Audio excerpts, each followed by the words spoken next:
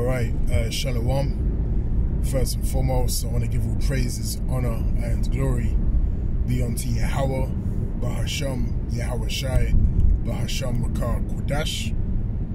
Double honors to the apostles and the elders of Great Millstone that rule well.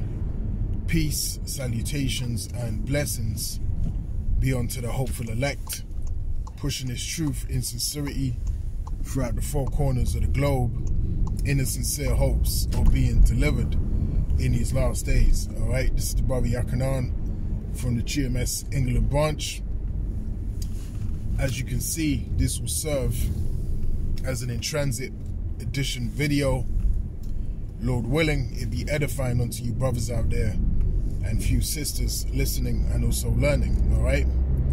Now, um, I'm gonna entitle this video uh, pray you remain. All right, pray you remain. And inspiration is drawn from the latest addition to the um, Fallout gang. All right, you had them um, individuals from uh, Boston, you know, that fell out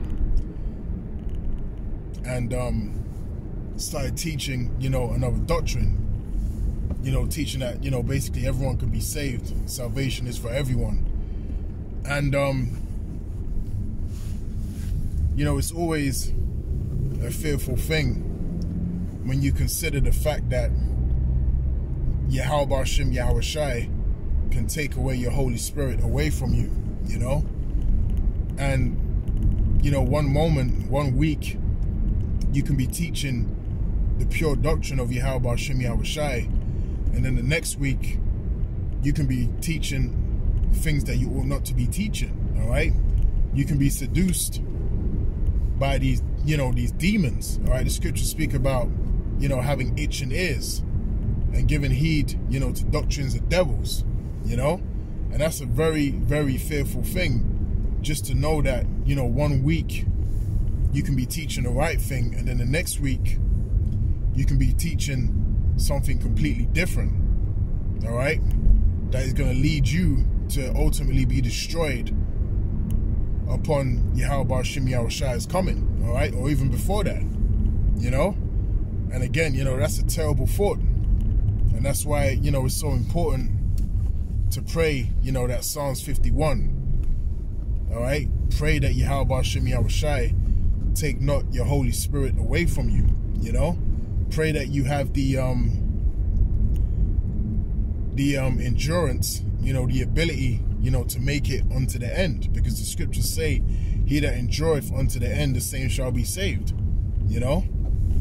And we witness many you know guys not make it to the end all right? Not finish their course okay? But in their mind you know, the Lord has given them that strong delusion that they should believe a lie. Okay, so they're going to believe in their own mind that they're doing the right thing. They're going to believe that, you know, the path that they're now on is the path that is the um, correct path.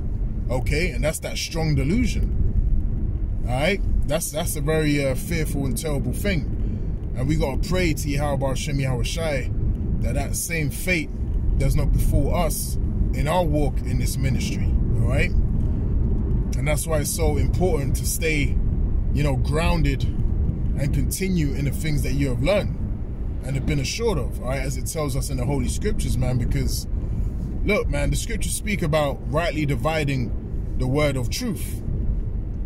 So when the Lord takes away the, the spirit from you, you have actually lost the ability to rightly divide the word of truth, man. You've lost that ability.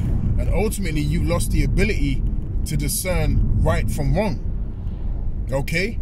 You've ultimately lost the ability to discern right from wrong. All right? You're back at square one. And that's why, you know, the scriptures speak about returning to the pollutions of the world. All right? Once you've been enlightened and then, you know, going back and turning to the pollutions of the world, you know, as if a dog you know, uh, returneth to its vomit, that's a horrible thing. All right, because now you're back at square one. Now you're back in the world. All right, and now you know you have more demons on you than you had in the world in the beginning. All right, because you were exposed to this beautiful truth. You was exposed to the wisdom, knowledge, and understanding of Yahweh Hashem Yahawashi, but you didn't continue therein. All right. So the judgment, all right, the scriptures speak about, you know, you're going to receive, you know, even more stripes because you knew the word, right? you knew the truth, but then you fell away from it. So the judgment is even heavier. All right. And I'm roughly paraphrasing here, you know.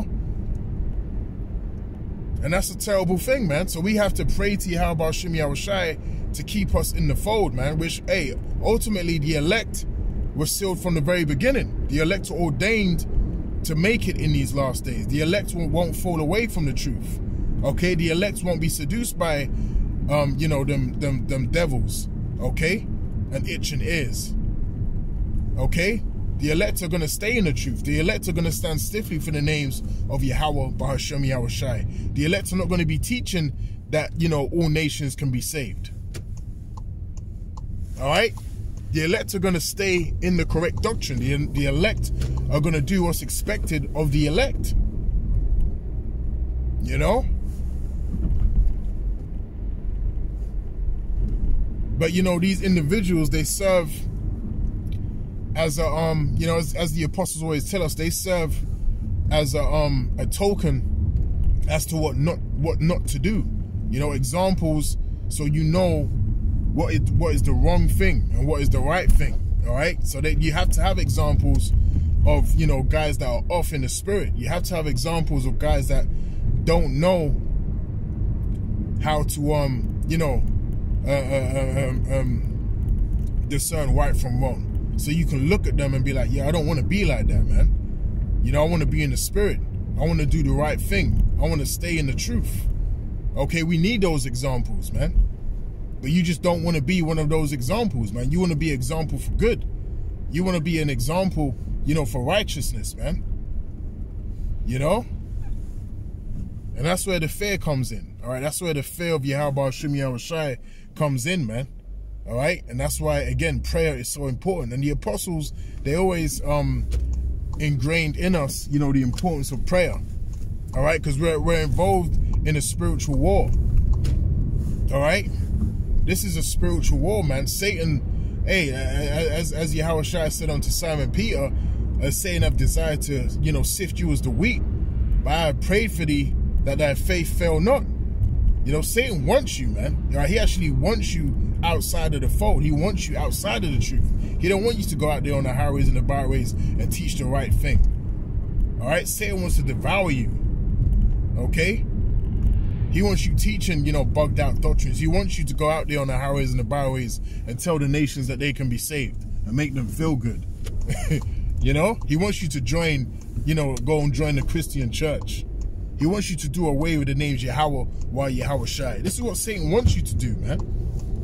You know? But if you're of the elect, hey, Yahawashi has prayed for you and you ain't gonna fall away. Okay? So obviously Yahawashi didn't pray for them for them uh, dudes, man. For them guys. Okay? And that's why they fed out the truth. Alright? And that's what it is, man. So hey, I just want to um I just wanted to, you know, speak on that, you know, briefly. You know, Lord willing, you know, it was edifying.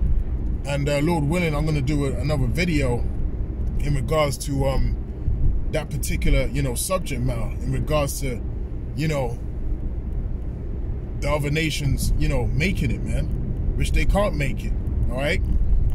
That, does, that doesn't even make sense. You know, when you come into this faith, and again, you have the ability to rightly divide, you know, the word of truth, you just know that don't make no sense, man. That don't tally up with the prophecies, all right? So with that, Lord willing, this has been uh, edifying. And until the next one, I'll say shalom.